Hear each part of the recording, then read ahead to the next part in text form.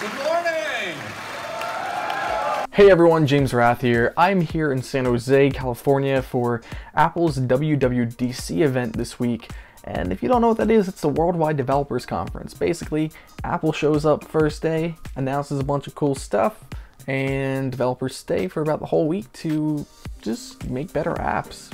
So typically at WWDC, Apple usually announces new software. This has been an ongoing trend for many years now, but there were also a lot of hardware announcements. Now I'm not really here to talk hardware yet, but just in short, they had new iPads, new MacBooks, new MacBook Pros, new iMac, and even an iMac Pro. And it's kind of a monster actually.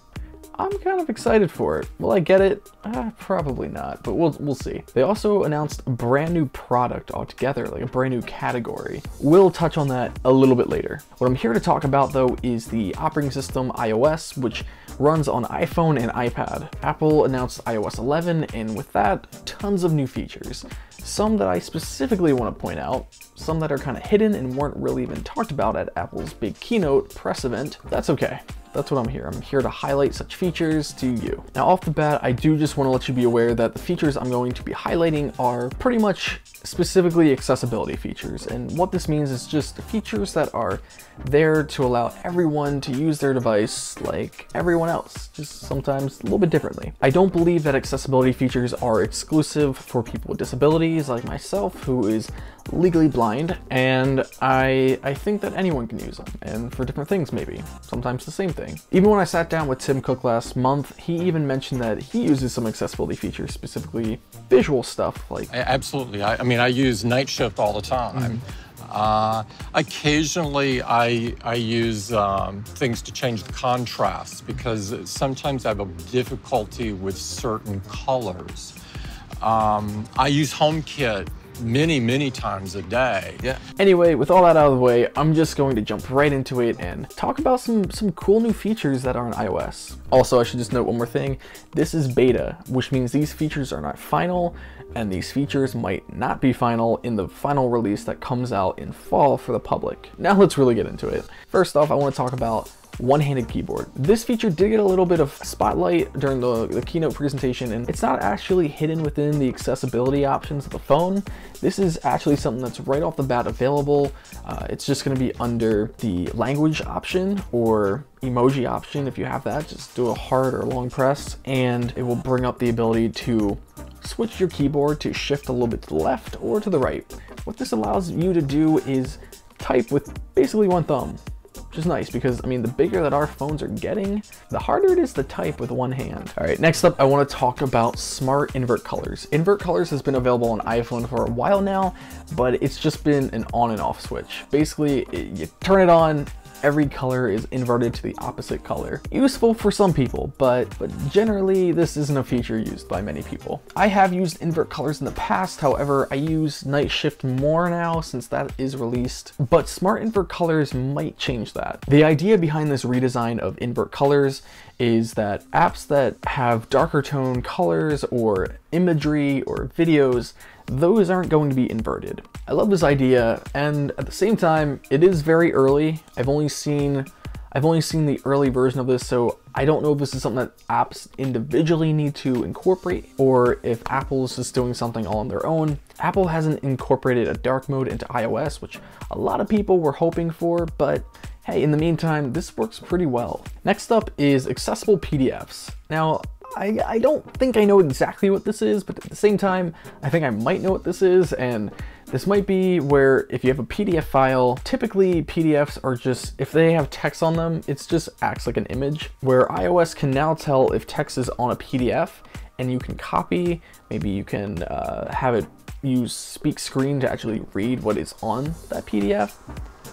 Again, once again, I haven't actually seen or tested this feature, so I don't know. I could just be pulling all of that. I just did a little research. It turns out that is exactly what this is. All right, next up is a feature that I've been asking for for probably two years now. I've been sending feedback, been talking to some people. This is something I've been kind of hoping for, not necessarily even for me, but for my friends who are deaf or hard of hearing, they have not been able to really interact with Siri very much.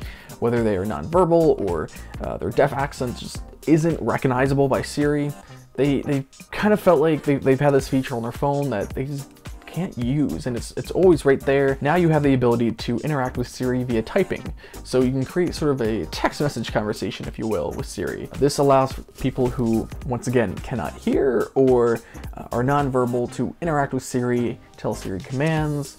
Uh, this gives you access to things like HomeKit, which we're going to talk about a little bit more in just a moment. I do just want to share a little bit of love for my friends who do know Braille and use Braille machines with their iPhones and iPads.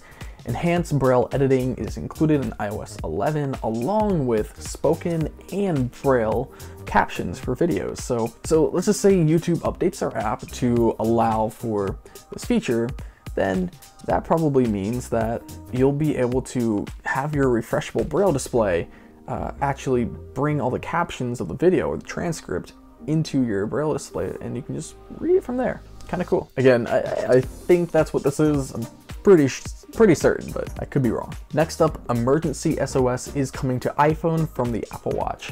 What this feature was, was uh, if you hold the uh, side button down for a long period of time, it will uh, start doing that. Basically start creating this loud noise and it will uh, contact emergency services. It'll call 911 and notify your emergency contacts uh, who are on your medical ID. Only use it if you are in danger or you are in a critical situation. Now it's on iPhone and you can turn it on in settings and then you can basically just tap the sleep wake button several times, I think about five times rapidly, and it will uh, send a emergency call to 911 along with notifying your emergency contacts. Right now, I have three people in LA who, which is where I live.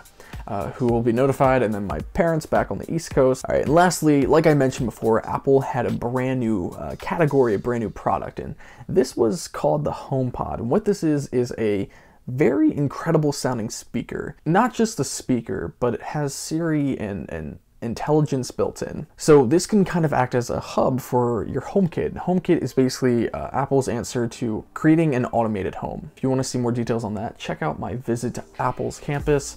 You can learn more about HomeKit in that. So the HomePod is coming out in December and it's going to retail for $349.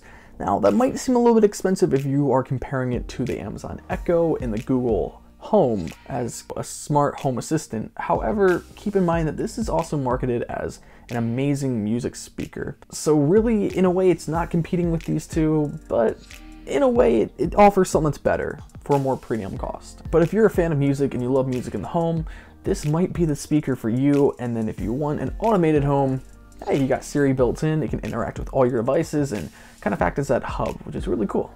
Anyway, those are some of my favorite new features in iOS. Once again, accessibility features are not exclusive to people with disabilities, so check these out, try them out, see if they, if they can be incorporated into your everyday life if you consider yourself an able-bodied person. Thanks everyone for watching this video. If you liked it, give it a thumbs up, leave a comment down below, because I want to ask you, what is your favorite accessibility feature? Have you tried accessibility features?